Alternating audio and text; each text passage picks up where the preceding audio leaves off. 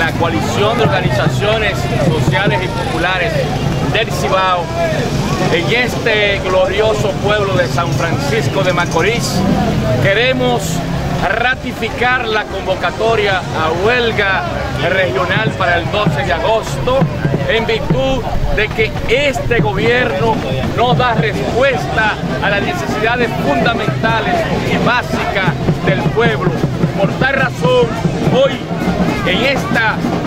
demostración de que hay un pueblo de pie en San Francisco de Macorís, dando una señal que el 12 de agosto en las 14 provincias del Cibao, en la huelga regional, será un plebiscito en demanda del conjunto de reivindicaciones de carácter social a favor de la grande mayoría del pueblo dominicano.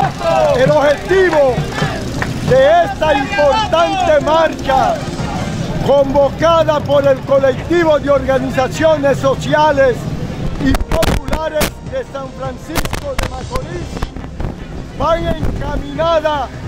a seguir reclamando de las autoridades, tanto municipales, provinciales como nacionales, el conjunto de reivindicaciones que desde hace más de 15 años el movimiento social y popular franco macorizano y del país han venido exigiendo a las autoridades. Además, esta marcha va con el objetivo de continuar el proceso de lucha, de agitación, de movilización para hacer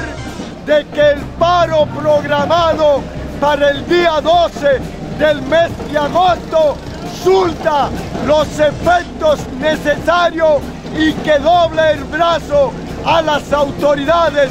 en el cumplimiento de la demanda. Entre la demanda que estamos desarrollando están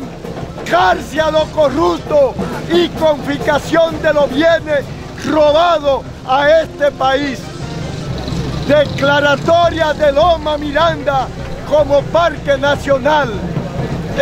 la elaboración de una ley de seguridad social para todo el pueblo dominicano, la construcción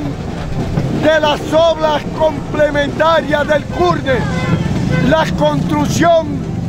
de calle, acera, contene y asfalto de la misma, instalación del circuito 24 horas,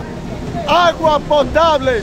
construcciones de escuelas y liceos para el municipio de San Francisco de Macorís,